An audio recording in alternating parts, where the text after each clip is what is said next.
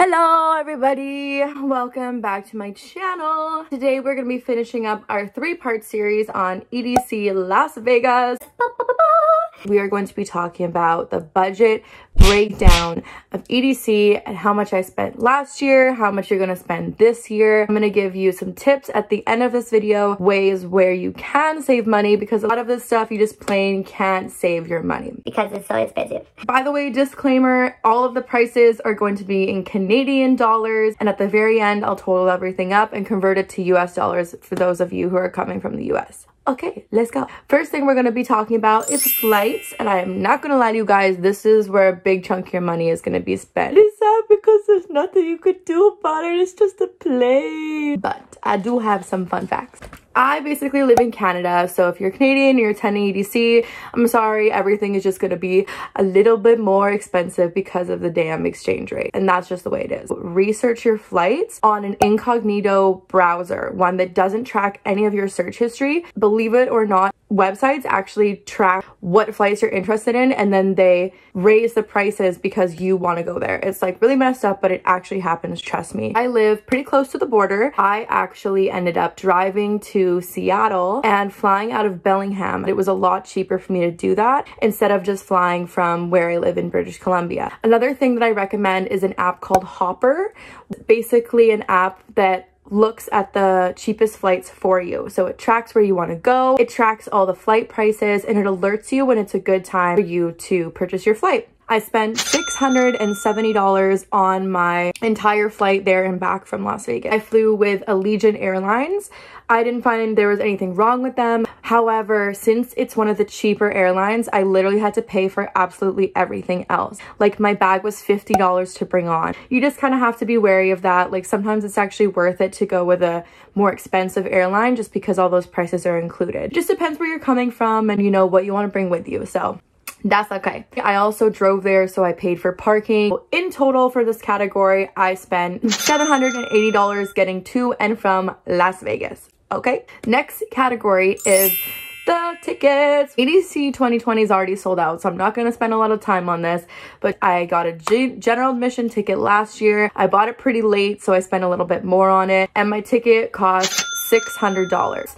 I think most of the shuttle passes are sold out as well. However, I bought a VIP shuttle pass. It was 330 Canadian dollars. I would try to get a shuttle pickup location that's close to the hotel you're staying at if not at the hotel you're staying at because sometimes you have to Uber to your shuttle pickup location which is super dumb so don't do that. If you're not looking at a shuttle pass and you're wondering how much an Uber is from the strip to the venue it's around 80 to 100 dollars in total it just depends where you're being picked up from and if you're splitting it with your friends then pretty cheap honestly. Next we are going to talk about hotel. There's totally different options for this you can stay with a friend you can get an Airbnb but most people just book through hotel. Okay so we stayed Treasure Island. Basically, my friends were in another room and then in my room, it was me, one other girl, and there was two big beds in it. So I ended up actually spending more than I would have liked to on a hotel just because we only had two of us in a room. We stayed for four nights just for EDC. We didn't stay for EDC week. It was $147 a night for me.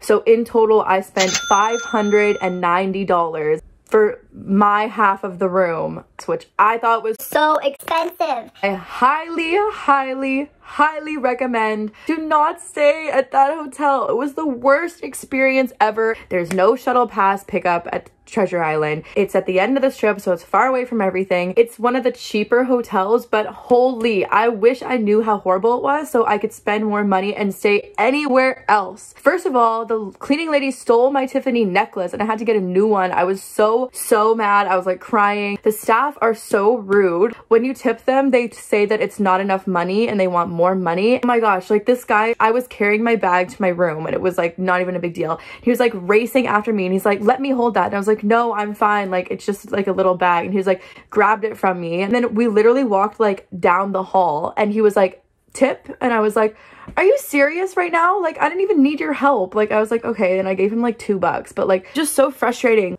And the worst part is when we got there, we had two double beds, and that was the room that we booked like a couple months in advance. I got there first because I flew separately. The people were like, No, you can't go in the room, you can't check in until the girl whose name it's under gets there. And I was like, I'm just letting you know, like, I'm here. Like, when the girl gets here, like, we'll come back and check in at two o'clock. Like, that's the check in time, two o'clock. He's like, Okay. So we come back at two o'clock, and the people are like, Sorry, we gave away your room. What do you mean gave away? Like we bought it. Like we paid the money, we purchased. Like what do you mean gave away? This is not like, oh, like what do you mean? Like sleep on the streets? And he's like yeah sorry. So you're gonna have to like stay in a more deluxe room. We're like okay i see you. I see you. We get a free room upgrade. This is great. He's like no you have to pay for it. I was like hold on. I was here at like 8 a.m and i was saying like I'm here, like check me in. And you said no. You knew I was here. And then you gave away the rooms that we already, oh my God, you guys. My friend was like yelling at the man. It was such bad situation. Almost forced us to pay 400 extra dollars. Don't stay at Treasure Island. On a more positive note, I have heard wonderful things about the Luxor, Best Western, and the Excalibur. Those are also the three cheaper hotels that you can stay at on the strip. Luxor Hotel has a shuttle pickup spot and hosts the iHeart Raves pop-up shop, which I highly recommend going to because it's decently priced, it's good stuff, and it's, it's really cool to actually purchase in person for once and not online.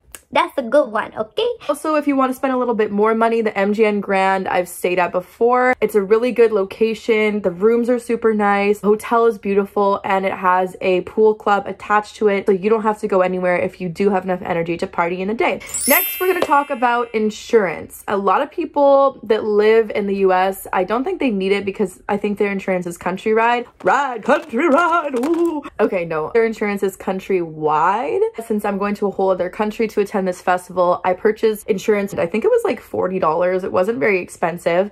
However, I highly recommend that if you guys are booking hotels and you guys are booking flights that you upgrade your insurance, cancellation insurance because of the coronavirus. I don't know if y'all saw what happened to Tomorrowland Winter or Miami. Ultra Miami is a huge festival and now they've postponed it. Like, yeah, they canceled it, bro. Like, they canceled the music festival because of the coronavirus. And now I'm scared they're going to do it to EDC. Make sure you purchase all the proper insurance. So y'all don't get screwed. Just keep that in mind, okay? Okay. Oh, that's $40 for me. That's what I spent. Next, we're going into the unknown land of alcohol and food. So I budgeted 250 Canadian to 300 Canadian dollars, and I actually did stay in that budget. Uh, when I talk about prices inside the festival here, these are going to be American dollars. So they have free water refill stations, and all of the rides are free, so don't worry about that. I would say that it's about 10 to $15 if you want to buy some food. You can get up to $20 if you're going for like some weird meat extravaganza. The water and the Red Bull inside is around $4 for each of them. The lemonade is $13. And if you're actually getting a drink drink, like a drink drink, a drink drink inside the festival, it's about 14 to 22 American dollars for depending if it's a single or a double and like the grade of alcohol that you get, which is so expensive. So I really highly, highly recommend for you to pre-drink. I have a wonderful hack of how I snuck in alcohol into EDC for all three days last year and didn't get caught. So check it out, baby. Let's go. So also merch prices are actually pretty reasonable. I was quite surprised. And there's merch stands from all different artists, all different companies, all different labels. I recommend buying merch like 100% and I didn't because I'm just stupid. I don't know what the heck I was doing. I was like, I'm trying to save money. Oh my God. No. What my friend did was actually really smart is she purchased merch after she started to get cold on one of the days and then she bought a sweater so she didn't have to carry it around with her all day. So we're just gonna total up how much money I've spent at EDC and then I'm gonna give you some very quick tips on how to save money when you're planning slash attending EDC Las Vegas. Uh, let's go. We got $780 for the flight. We got $600 for the ticket. We got $330 for the VIP shuttle. 590 on the hotel, $40 on insurance, and around 250 to $300 for food, alcohol, and merch, which I didn't buy. Totaling everything up, it's $2,640 Canadian, also $1,970 USD. If I was part of the original organization committee of my friend group, like I could have knocked off probably around $400 of that whole situation. But I was the last one on the bandwagon for EDC last year. So I Pay that price for that. so, okay, now just quick tips on how to save money. Obviously, number one, the more people that you have in your group, the cheaper it's gonna be. So if you have two, get one bed in a hotel room. If you have four, fill up that hotel room with two beds only. I would recommend having an even number of people. Faux show. Booking your hotel, it's not like flights. You should book it as soon as you possibly can because the prices are only gonna go up closer to the date. You don't have to use a private browser. Just book the hotel with your friends and you're good to go. Okay? Okay.